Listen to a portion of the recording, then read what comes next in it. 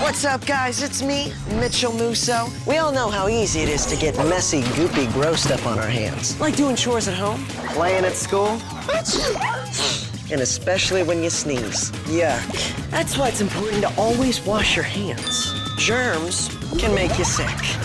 So wash your hands whenever you can, and not just before you eat. And remember, clean hands are cool hands, so let's wash up. See ya. Check out more of Mitchel at cleanhandsorcoolhands.com.